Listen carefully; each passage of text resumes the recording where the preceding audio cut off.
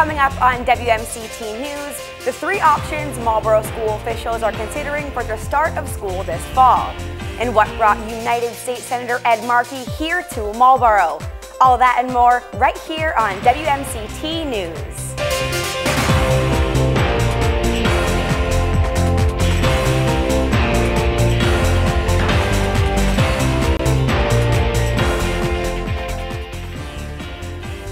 Welcome back to WMCT News. I'm Megan Parsons. Superintendent Bergeron finally gave parents and students an idea of what school could look like this fall. During Tuesday's school committee meeting, he announced three possible options for returning to school.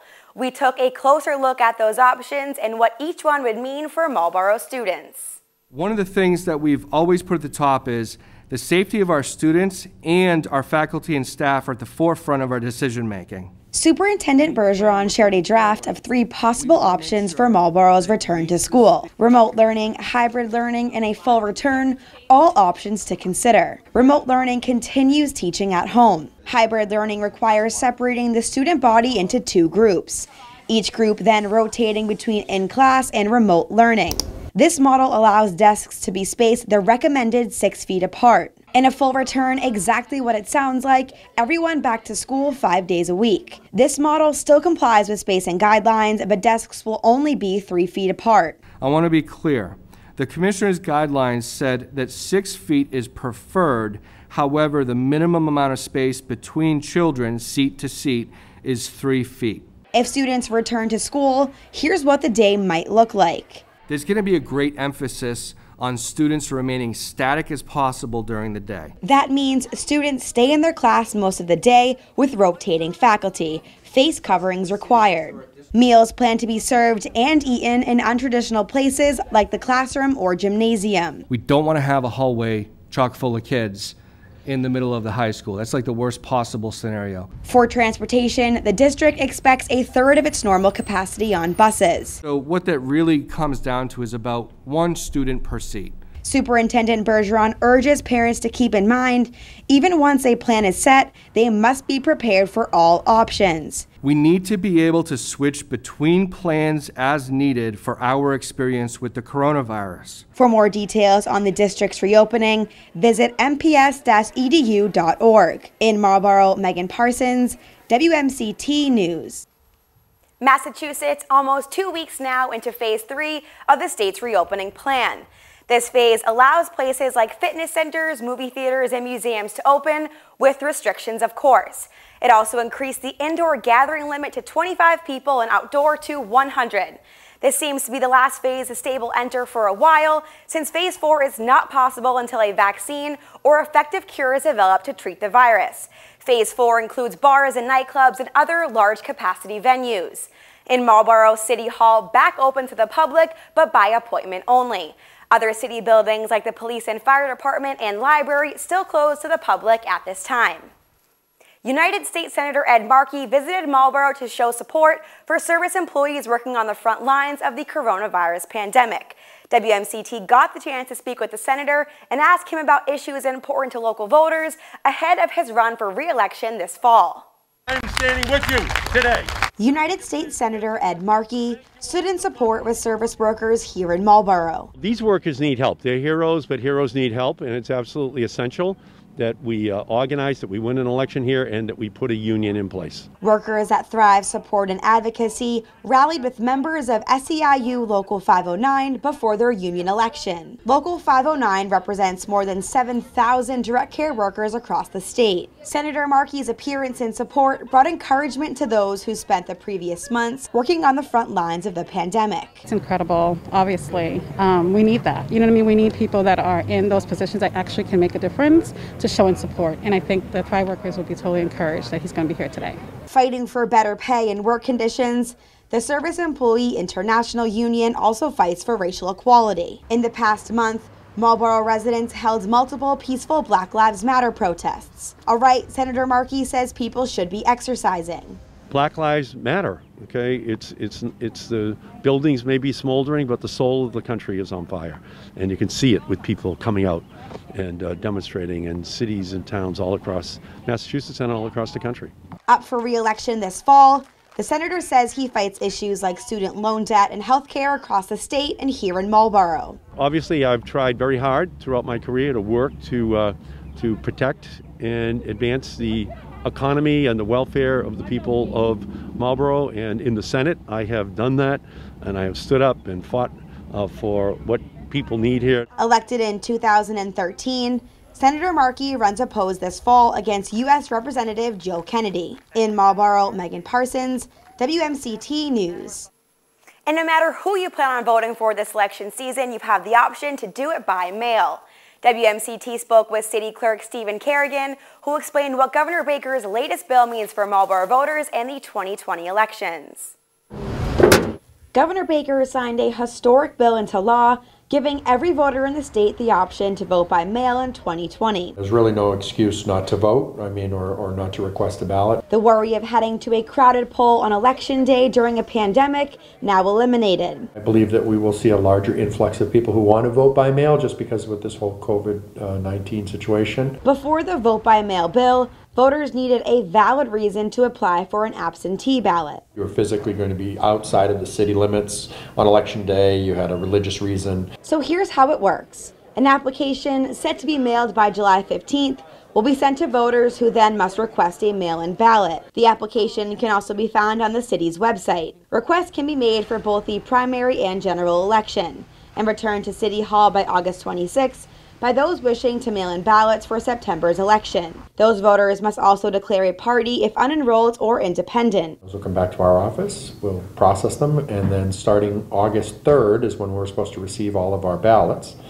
Um, that's when we'll start mailing everything out. Voting by mail receives some backlash by those who say it promotes voter fraud. However, that's not the case here in Marlborough. I think it's safe, uh, in my opinion. I, I, mean, I believe it's safe, especially here in the city of Marlborough. I mean, I can only speak to Marlborough, but I mean, um, we, we're very cautious and we take great care and making sure any applications that are received are processed as soon as they come in. We get them entered into the system, get the ballots mailed out. Of course, voters still have the option to cast ballots in person. In downtown Marlborough, Megan Parsons, WMCT News.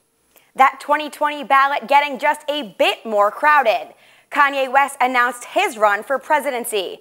The musician shared the news in a tweet saying, We must now realize the promise of America by trusting God, unifying our vision, and building our future. I am running for president of the United States, hashtag 2020 vision. Celebrities including West's wife Kim Kardashian and Tesla CEO Elon Musk also took to Twitter to pledge their support.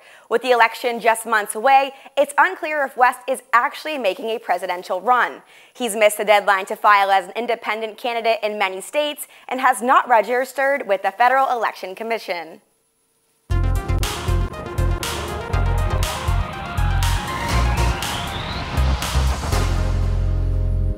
Middlesex County DA Marian Ryan announced rape charges against a gymnastics coach from Hudson. 41-year-old David Auger coached at 10.0 Academy of Gymnastics in Stow. The alleged sexual assaults started back in January of 2018 when the victim, a student of Augers at the time, was only 17 years old. The abuse continued until she was 18 in July of 2019. DA Ryan says all three alleged incidents happened on site at the gym. She also says Auger used his position as the owner of the gym to control the victim. At his arraignment last Friday, a judge held Auger on a $5,000 bail and ordered him to stay away from the victim. He cannot work at a gym and isn't allowed unsupervised contact with children children under 18. Auger appears back in court in September for a probable cause hearing. In Hudson, Megan Parsons, WMCT News. Westboro police asking for your help identifying the baby formula bandit. On July 4th, police say he stole more than 40 cans of baby formula from a Target in Westboro. The male suspect grabbed two gift bags from the store and filled them with cans before leaving. He made off with more than $1,000 worth of formula. Police ask anyone who recognizes the man or the vehicle to contact Westboro Police. Staying in Westboro, the town seal sparked controversy by some residents who say it represents oppression. A small cotton gin appears on the seal, a device invented by a Westboro resident in the late 1700s. Those opposing the seal say the cotton gin contributed to slavery, and it's time the town reflects on the message the seal sends. All members of the Westboro Board of Selectmen supported considering a new seal. The board organized a public hearing on the topic for this month, but wants to remind residents the process of changing the seal throughout the town will be a long one. Finally, the moment you've all been waiting for, sports are back. Coming up after the break, local sports coverage from WMCT Sports Director Matt Pasaccio. I know what you're thinking. I need a job. I need a new career. Well, I've been there. I've been there. I've been there. I wasn't happy with what I was doing. After high school, I didn't have a plan. I just wanted to start working. I got laid off twice, but you gotta keep going. You just need the right skills. Find an apprenticeship. I found a two year IT program. I found a medical course online. I'm now a consultant in the tech space. You have more options than you think. You can do this. You will find something. You will find something new. Hi, my name is Orion Carlotto, and when I first started dealing with my mental health was late middle school, early high school. My best friend Camo was the only person that knew about everything that I was dealing with in my head. Having a friend, I feel, as cliche as it sounds, is important to just even just have somebody listen to what you have to say, even if they have nothing to say back to you, just to be an ear. If you have a friend that is dealing with anything under the umbrella of mental health, I feel like the most important thing to do is just listen. You don't have to feel obligated or pressured unless asked for to give advice. I feel like just to have somebody listen is more than enough. Just knowing that it's not in here and it's somewhere outside of my brain or my journal feels like a giant weight is taken off my shoulder because I am one to hold things in.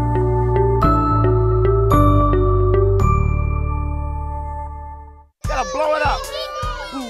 The Hero Effect is now available for online streaming. We know if families can't afford to buy food, they're certainly not going to buy books. If we wait till kids are in school, it's too late. If you're not reading at grade level in third grade, you get to fourth and fifth, and then we start having school truancy and dropping out of school and leading down a completely different path. I've always been drawn to learning. What we wanted for our kids, we want for all kids. The Hero Effect, now streaming at heroeffect.com. Hello and welcome back to WMCT News. I'm Matt Pasaccio, and when you see me, that only means one thing. Sports are back. It's been a long, arduous past four months, and if you're like me, you've been looking forward to seeing our local athletes get back out in the field after spring sports were halted back in March. Now, last month, Assabet Valley baseball coach John Silk, he reached out to me and told me about a two-night round robin where seniors from across Central Mass would get together for one last time on the diamond. Seniors from AMSA Charter and Assabet Valley took part, and we were there to take in the action from the seniors' last high school experience games at the New England Baseball Complex. First up, we have the boys from AMSA. Five senior members of the AMSA baseball program joined other ball players from across Central Mass for the last high school experience games at the New England Baseball Complex in Northborough. After a scoreless first, Team 1 breaks through with a couple of runs in the second. West Boylston's Shane Ladden laced the liner to center field for the base knock. Then it's fellow Lion Steve Thomas who shoots the rocket to left center field. The center fielder takes a bad line and the ball rolls all the way to the wall. Ladden trots in and it's 1 0. Later in the inning, Thomas is driven in on the fielder's choice, and through an inning and a half, Team 1 led 2 0. In the bottom half of the second, Team 2 has a great chance to get on the board with runners at first and second. But this soft liner heads straight to the second baseman, Owen Wise. The ball comes out, but it's on the transfer, the runner gets caught off the bag, and he's doubled up to quell the threat. Later in the bottom of the third, Wise replaces Ladden on the mound and he mows down the competition. He gets not one, not two, but three straight batters to go down looking. What an inning for Wise. Then another Eagle spurs the offense in the top of the fourth. Nick Battaglino hits a hot shot to third. Matt Toner of Bartlett makes a nice play getting to the ball, but his throw is past the stretch of the first baseman, and Nick makes his way to second. A couple of pitches later, Nick breaks for third and swipes the bag easily. And a few pitches after that, this grounder to shortstop allows Battaglino to score on the fielder's choice. Team 1 now leads 3 0. In the bottom of the fourth, Team 2 had its best scoring chance of the day after loading the bases. But AMSA's Colin Craig would come in and limit the damage. Team 2 finally tacks on a run with this fielder's choice to second, but that would be it. And then later in the top of the seventh, Craig comes up to the plate and puts an exclamation mark on the day for the Eagles. This ball is smoked down the line and gets to the wall. The runner from first comes around to score, and Craig stops at third with a triple. Team one would add on one more and go on to win 5 to 1.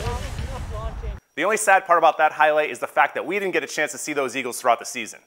Coach Gendron had the program heading in the right direction in 2019, and they were positioned to give Assabet Valley a run for their money in the Colonial League in 2020. Good luck to Colin Craig, Tim Wong, and the rest of the outgoing seniors as they begin the next chapter in their lives. Now, for our next highlight, we have the seniors from Assabet Valley from night two of the festivities. The New England Baseball Complex was the site for what would be the last game these Assabet Valley seniors would play together, as they took on seniors from across Central Mass. In the bottom of the first, AV outfielder Andrew Smith showed off the base running ability that made him so valuable over the years for the Aztecs. After a walk, Smith breaks for second and beats a strong throw to get in scoring position. Then, this wild pitch gets away from the catcher, allowing Smith to advance to third. Then, this grounder to second is deep enough for the speedy Smith to score easily, putting Team 2 up 1 0 after 1. And making his last high school start was Assabet ace Tyler Dossis, and he would pitch well in his two innings of work. Here, he strikes out the last batter of the first looking, then he catches the first batter the second staring as well. Later on in the inning, after giving up a run with runners on the corners, Coach Silk comes out to give Dossis some encouragement, and Dossis then ends his career the only way he should have, with a strikeout. Dossis struck out three, giving up one on the day. Team 2 would lead up until the fifth, where Team 1 would jump out in front for good. West Boylston's Shane Ladden comes up with runners on first and third and shoots this liner past the shortstop, driving in the tying run. And then the first pitch of the next batter is a pass ball. Westboro's Pete Bersani slides in safe to put Team 1 up 5 4, and they'd go on to win 8 4.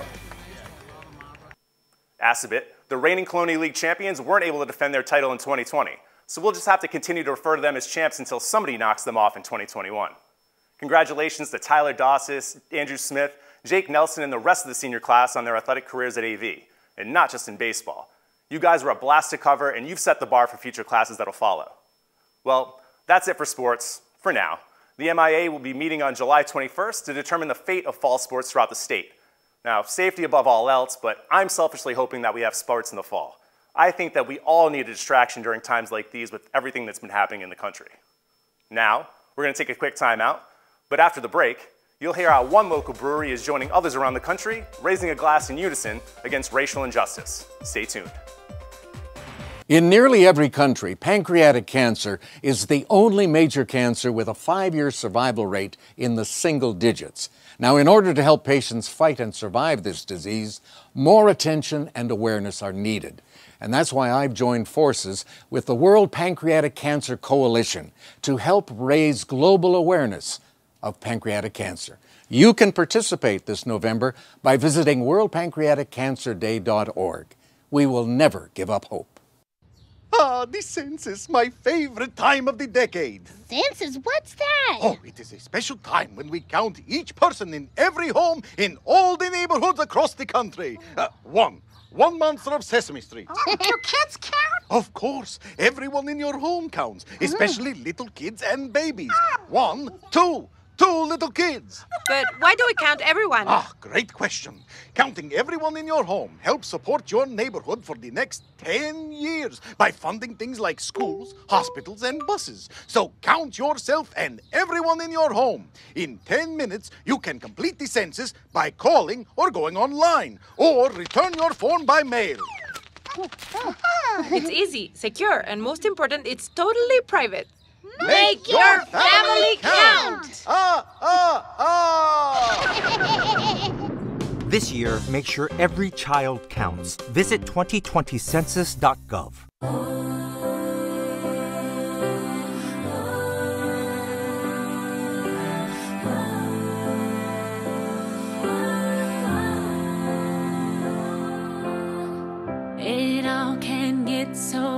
control. Sometimes you can lose your faith, you can lose your mind, lose your grip, get stripped of your pride till you don't know how you're gonna stay alive.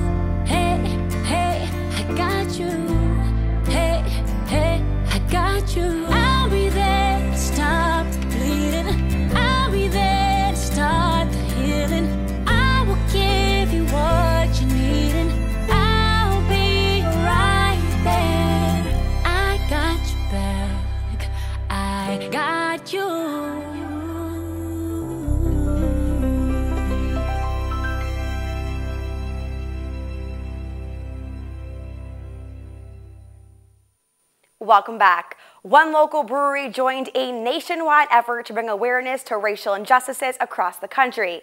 WMCT's Lindsay Crane spoke with the owners of Lost Shoe Brewing Company about their new Black is Beautiful beer.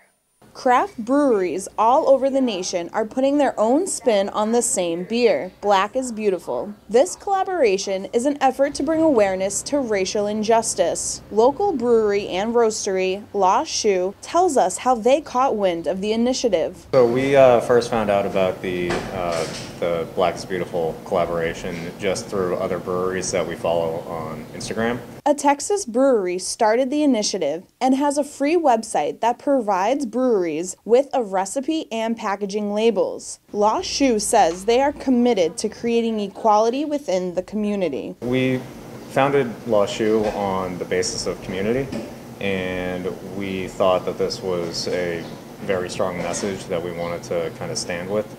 This dark, rich Imperial Stout is available on tap and in cans to take home, but only for a limited time, and 100% of proceeds will be donated. Proceeds from the four packs um, and the cans that we're selling, as well as our coffee bags. We, we also roasted a special coffee. Black is Beautiful. It's a black and tan blend of Tanzania coffee. Proceeds from that as well will go to the Black Lives Matter Boston chapter.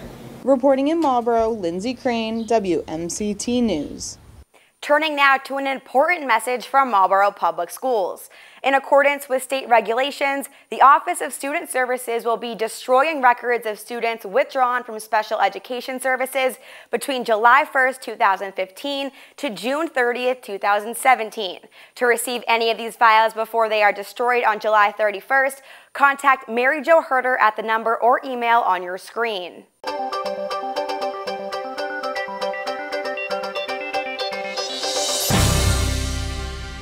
Marlboro's new elementary school, set to open this fall, has a name.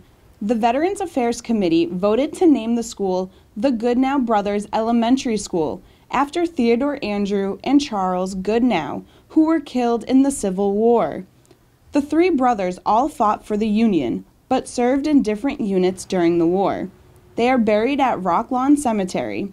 The full council is scheduled to vote on this at their next meeting. The city's second recreational marijuana shop is one step closer to opening. The Urban Affairs Committee voted to give Veti Naturals a special permit to open a dispensary on Boston Post Road West. The shop is expected to give the city about 300,000 in annual tax revenue. The full city council will vote on the special permit during an upcoming meeting. Lindsay Crane, WMCT News. If you thought you saw this same gazebo in another spot around the city, you're not crazy. The gazebo used to live on Main Street right next to Rowe Funeral Home. Now it sits beautifully at the corner of William Street and Lakeside Ave, overlooking Lake Williams. Time to check in with WMCT's Emily McHugh, who has been out and about exploring the best summer spots near Marlboro. Up first, the Hillside Wildlife Sanctuary. Then she'll bring you along to Gray Reservation in Sudbury.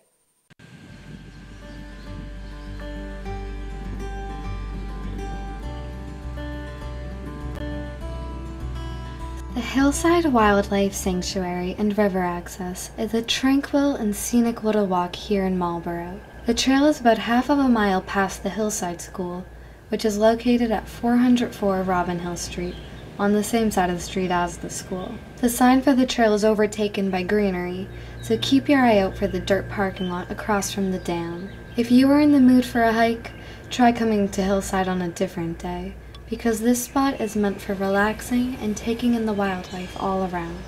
This charming trail leads to a beautiful view of the Assabet River going by. Little fish are frequently seen in the water by the riverbank. Plenty of birds can be heard singing from the trees overhead and swoop down into view periodically. Many other animals can be found at Hillside, from chipmunks to cute garden snakes. The trail is decorated with brilliant berries growing on bushes which adds beautiful pops of color to the greenery. Bring a beach chair and a book, and you have yourself the most perfect area to spend your evening. Reporting from the Hillside Wildlife Sanctuary and River Access, this is Emily McHugh for WMCT News.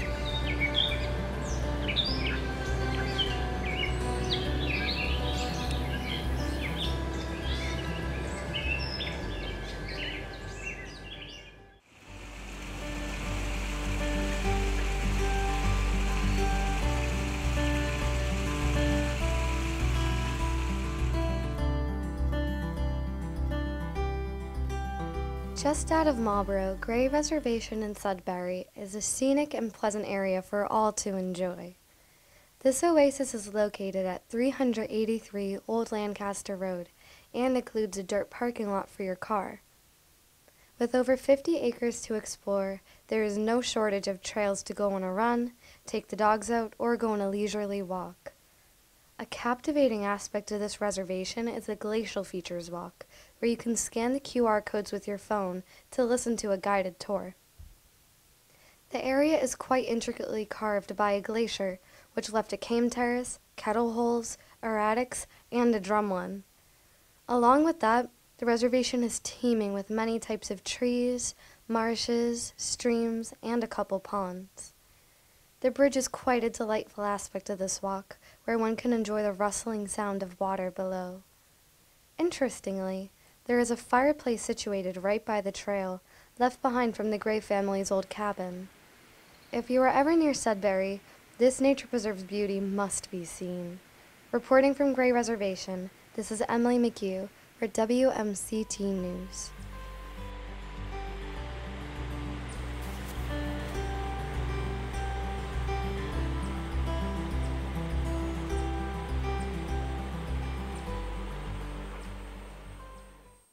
And to send you into the weekend on a positive note, who doesn't love a sunset?